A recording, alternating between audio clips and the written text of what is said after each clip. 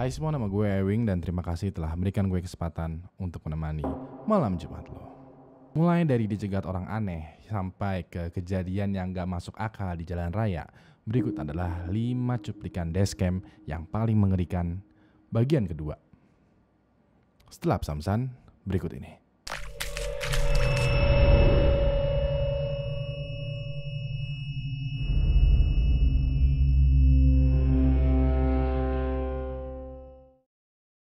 Kelima, wanita misterius. Gue yakin banget kalau lo nyetir terus stop di lampu merah, kadang ada tuh ya satu atau dua orang yang nyamperin lo. Orang yang nyamperin lo ini itu biasanya tuh nawarin makanan, tisu, koran, atau bahkan beberapa tempat itu kayak nawarin bunga mawar. Biasanya mereka disebut sebagai pedagang lampu merah. Gue sering banget nih ngalamin hal ini, apalagi kalau lo tinggal di kota-kota besar hal yang mungkin kelihatannya remeh tapi jadi eh, ladang pencaharian buat mereka yang kurang beruntung. Tapi apa jadinya kalau lo malam-malam pas di lampu merah tahu-tahu ada pedagang lampu merah yang bentukannya itu mengerikan dan dia berdiri di samping mobil lo. Jadi ada sebuah cerita mengerikan yang bisa dibilang ini dari uh, Spanyol atau Meksiko gitu yang videonya diupload sama seorang pria bernama Alex Rodriguez. Nah, pas Alex Rodriguez ini lagi nyetir di tempat yang gelap, yang di tempat yang sepi, tahu-tahu di depannya itu muncul seorang wanita yang berdiri di tengah jalan dan lagaknya tuh aneh. Dia kayak minta-minta gitu sambil juga bawa semacam hmm, daun kering. Yang kalau lo perhatikan baik-baik nih, lo mungkin bisa merinding nih. Gue mau lo perhatikan baik-baik.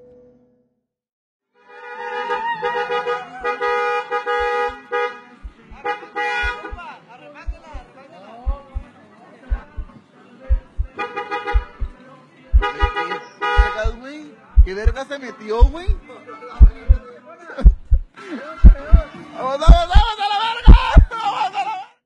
Seperti yang lo lihat nih, ada seorang wanita berpenampilan mengerikan yang nyegat mobil itu.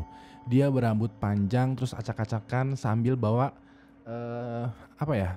Menurut gue sih kayak bawa ranting bu ranting daun uh, pohon palem atau pohon kelapa. Wanita ini terus-terusan ngelangin itu mobil. Makanya si pengemudi atau si Alex itu nggak bisa ngapa-ngapain selain ngerekam kejadian ini. Ada beberapa orang juga yang mencoba untuk menjauhkan wanita ini ke mobil. Cuman sia-sia. Wanita ini malah balik ngelawan pakai ranting yang dia bawa itu. Kalau wanita mengerikan ini nyegat mobil lo di area yang sepi, terus dia bener-bener gak mau pergi sampai lo klakson juga gak pergi. Kira-kira nih, apa sih yang bakalan lo lakukan? Kan lo tahu kalau dia itu sadar ya, lo sadar banget kalau itu adalah dia ini bukan hantu, tapi penampilannya itu mengerikan cuy. Kira-kira pikirin baik-baik deh apa yang bakalan lo lakukan. Keempat, dibegal pengendara motor. Hal yang ditakutin pas nyetir sendirian malam-malam itu ya, kalau nggak takut ada hantu yang muncul mendadak, ya begal cuy.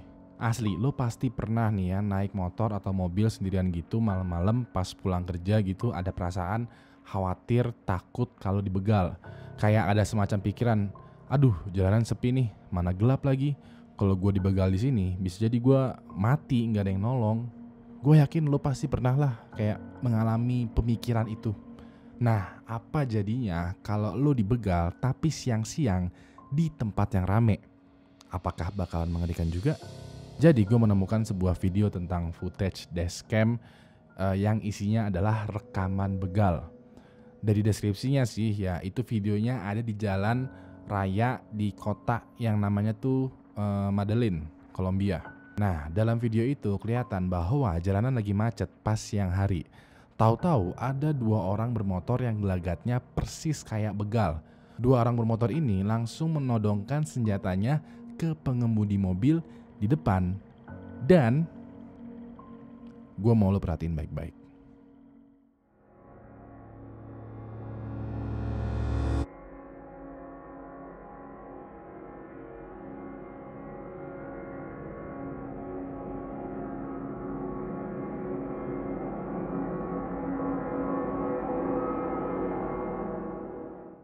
Seperti yang lo lihat di samping ini, kalau lo kira dia ngetok jendela cuman buat marah karena mobil depannya itu ngerem mendadak, itu nggak mungkin. Karena ya, karena ya lagi macet.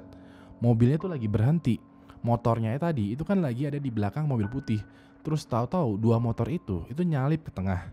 Terus yang depan tuh kayak ngetokin kaca mobilnya tuh pakai senjata. Abis itu katanya kedengar Abis itu katanya kedengar nada kayak ngancem gitu. Semua orang, semua pengemudi yang ada di situ itu pada ngeliatin dong.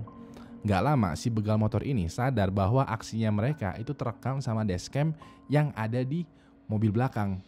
Kedua begal ini langsung cabut kabur begitu aja. Untungnya tidak ada korban dari aksi begal ini. Gak kebayang sih ya kalau emang dia beneran begal. Terus orang yang di mobil putih tadi itu jadi korbannya mungkin ya mungkin aja nih ya video ini itu menjadi bukti kuat buat kasus kejahatan begal.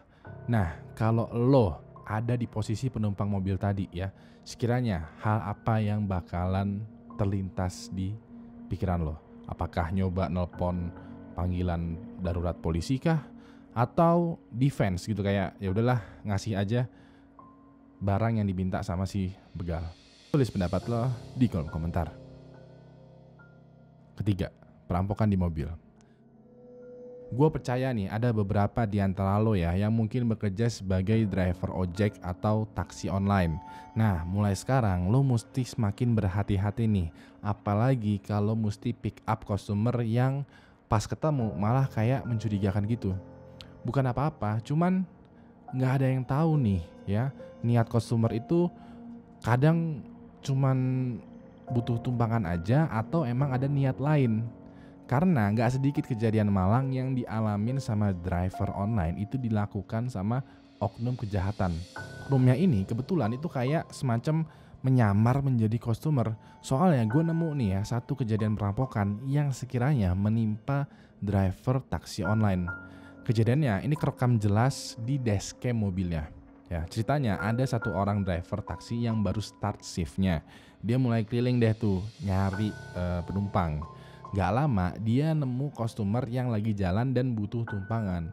Awalnya nggak ada yang aneh nih, cuman pas abis nanya tujuannya ke mana, ini customer itu ngelunjak dan ngeluarin senjata. Dia kayak nodong senjatanya gitu ke arah driver dan ini nih, gua mau lo perhatikan baik-baik.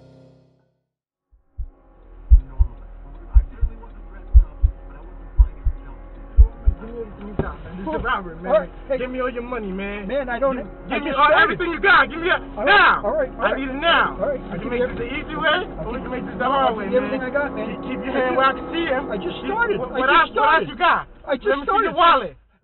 Seperti yang lo lihat ya, setelah beberapa waktu penumpangnya itu langsung nodongin senjata api ke driver taksinya.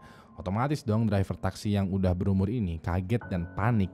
Dia beneran dalam posisi tersudutkan ditodong senjata, terus juga dimintain duit. Jadi bener-bener kayak wah nggak siap lah. Cuman driver ini itu emang lagi nggak megang duit. Dia kan baru mulai start shiftnya. Jadi ya duitnya ya dikit gitu, cuman duit kembalian. Si penumpang ini tetap kekeh minta semua duit yang si bapak driver ini punya sambil ngancem pakai senjata api. Beruntungnya persis di belakang mobil taksi ini itu ada mobil patroli sheriff jadi nggak lama setelah kejadian ini ada sheriff yang menghampirin uh, perampok dan juga driver ini. Alhasil si perampok ini langsung diciduk di tempat.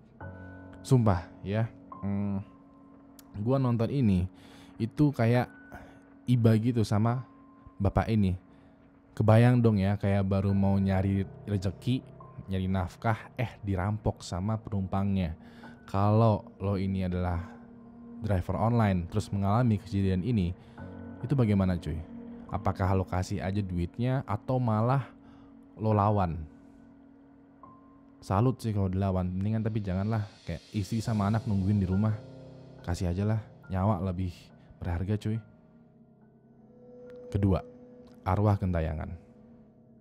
Mungkin ada beberapa dari lo yang pernah ngalamin kejadian serem pas lagi nyetir nih di jalan raya malam-malam bukan perihal begal nih, tapi nemu hal yang ngelintas gitu lewat begitu aja di depan kendaraan lo.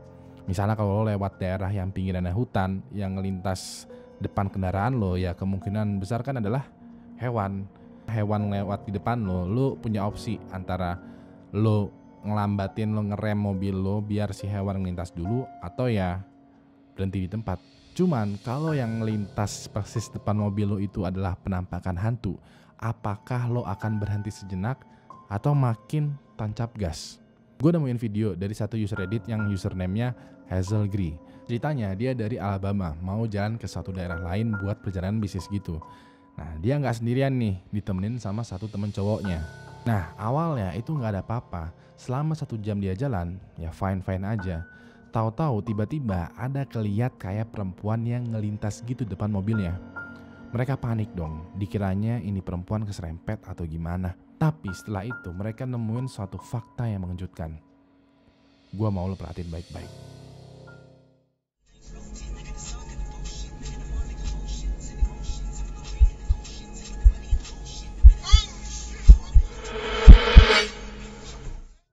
Seperti yang lo lihat di samping, pas mereka lewatin jalannya, nggak lama muncul sosok perempuan dari arah kanan mobil. Hazel Grey sama temennya itu langsung keliat panik parah karena emang posisi perempuan itu itu beneran kena ke area kanan mobil. Gak lama dia telepon nah itu polisi terdekat, takutnya emang terjadi kecelakaan. Kebetulan ada mobil polisi nggak jauh dari situ. Ya beberapa waktu kemudian mereka datanglah si polisi ke area jalan yang dimaksud. Logikanya ya kalau emang perempuan tadi masih keserempet, kan masih nih ya si perempuan itu ada di area situ. Taunya pas dicek sama polisi malah nggak ada siapa pun. Polisi nanya lah detail perempuan yang tadi keliat itu tuh gimana. Hazel Green jelasin kalau perempuan itu pakai dress terus nyeker dan gendong uh, tas ransel. Kagetlah bapak polisi karena ternyata ciri-ciri orang yang disebutin sama Hazel Grey itu persis sama kayak satu korban bunuh diri di area jalan yang mereka lewatin tadi. Nah, ada banyak nih cerita dan laporan tentang sosok perempuan ini yang keliat ngelintas di area situ banyak komentar di postingan uh, Redditnya yang bilang kalau sosok perempuan tadi mungkin masih bergentayangan karena masih banyak hal yang belum selesai semasa hidupnya.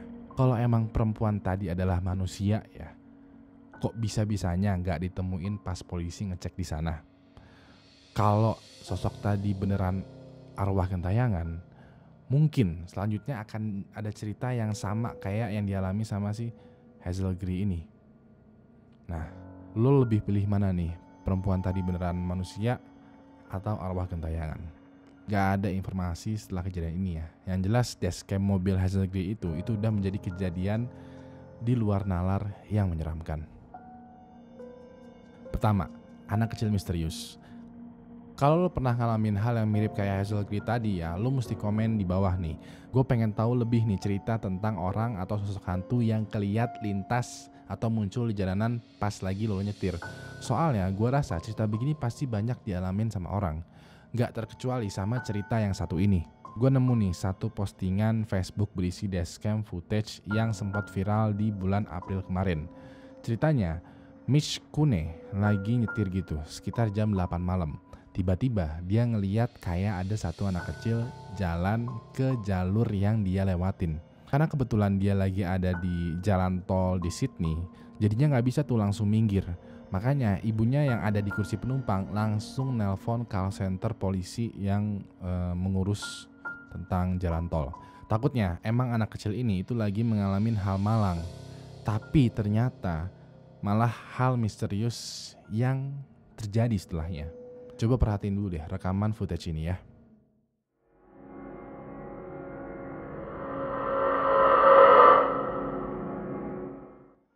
Seperti yang lo lihat nih, pas Mitch lagi nyetir di jalur tengah, tiba-tiba muncul anak kecil dari arah kanan jalan. Anak kecil ini keliat kayak jalan gitu aja ke area jalur tengah. Nah ini gue slow mo supaya bisa kelihatan lebih jelas nih. Anak kecil ini ngeliat mungkin kayak pakaian semacam jaket atau baju gitu. Gue nggak bisa dapet gambar jenihnya ya. Cuman di sini bisa ngeliat kalau dia itu berjalan ke arah mobilnya si Mitch. Ibunya Mitch langsung telepon polisi sehabis ngeliat anak kecil tadi. Mitch dan ibunya langsung dapat respon katanya kalau anak kecilnya itu dibawa dan diantar ke polisi ya bakal aman-aman aja. Tapi Mitch nggak bisa minggir gitu apalagi muter balik karena dia lagi di jalan tol. Nah karena khawatir sama keselamatan anak kecil ini akhirnya polisi yang menuju ke daerah dekat situ nyari-nyari si anak kecil sampai sekitaran jam 3 pagi. Anehnya, mereka nggak bisa nemuin siapa pun. Udah nanya ke pengemudi mobil lain, tapi juga nggak ada yang lihat anak kecil. Dari kantor polisi terdekat juga nggak ada laporan tentang anak kecil ini. Bahkan sampai sekarang nggak ada yang tahu sebenarnya itu penampakan anak kecil atau emang anak kecil yang berkeliaran di sana.